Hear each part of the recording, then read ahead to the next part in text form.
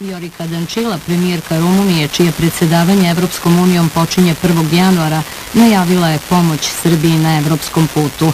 Cipras je poručio da Balkan nije drugorazredni region. Saradnja u okviru kvadrilaterale je značajna jer četiri zemlje imaju veliki razvojni potencijal, naglasio je Borisov. Dogovoreno je nekoliko konkretnih projekata za bolje infrastrukturno povezivanje četiri zemlje, rekao je Vučić.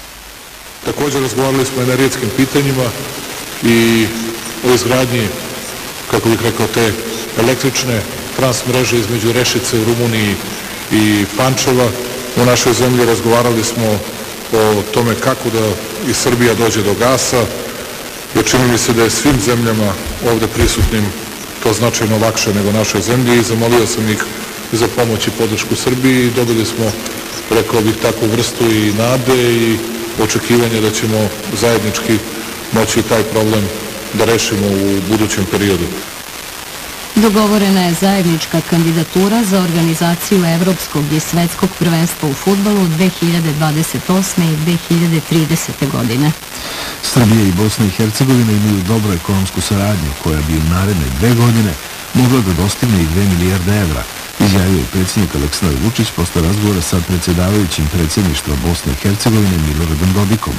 Vučić i Dodik prištinsko uvođenje taksi na robu iz centralne Srbije i BiH ocenili su kao anticivilizacijsko. Vučić je poručio da nema rešenja za Kosovo i Metohiju dok se Srbiji i Albanci ne dogovore. Dodik je ponovio da će Bosna i Hercegovina podržati svako rešenje koje postignu Beograd i Priština. Etamnije Ida Maričić. Godina na izmaku po svim ključnim ekonomskim pokazateljima jedna je od najboljih za Srbiju.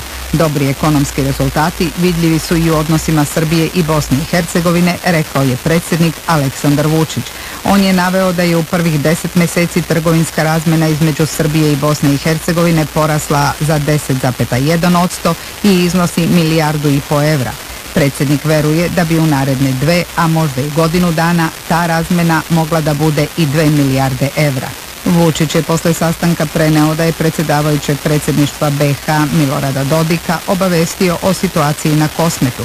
Ponovio je da je cilj Srbije da postigne kompromis oko kosovskog pitanja, ali da nismo ni blizu toga. Mislim da je dobra vest da Sjedinjene američke države žele kompromis između Beograda i Prištine.